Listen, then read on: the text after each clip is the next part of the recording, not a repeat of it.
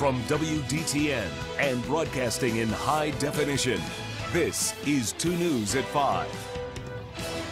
First here tonight at 5, we have uncovered new information about a massive fire that destroyed the former Carter Jewelers building in downtown Springfield. Good evening, I'm Mark Allen. And good evening, I'm Katie Houston. Flames could be spotted clearly against the early morning sky Sunday near Fountain Avenue and Main Street. Rob Sneed tells us where the investigation stands now in our top story at 5. A huge massive fire came through here Sunday morning, destroying this entire building. You can see it is still boarded up. Now, authorities tell me they're trying to get their hands on some type of surveillance video from the surrounding buildings out here, trying to figure out how this fire got started. A huge plume of fire and smoke could be seen blocks away in downtown Springfield Sunday morning. Firefighters rushed to get these flames under control.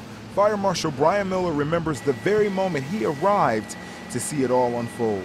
Prior to my arrival, the roof had collapsed in, uh, into the building, um, and there were several hidden fires uh, below that roofing material that crews were trying to extinguish.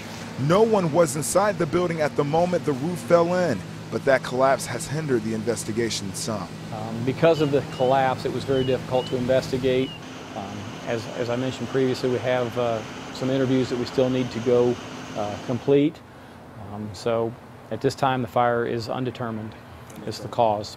Undetermined for now, but in the meantime, this building will remain boarded up, untouched, until a cause is determined in a couple of days. Fire investigations are slow. I know everybody wants to know the cause right away after the fire, but uh, they take time.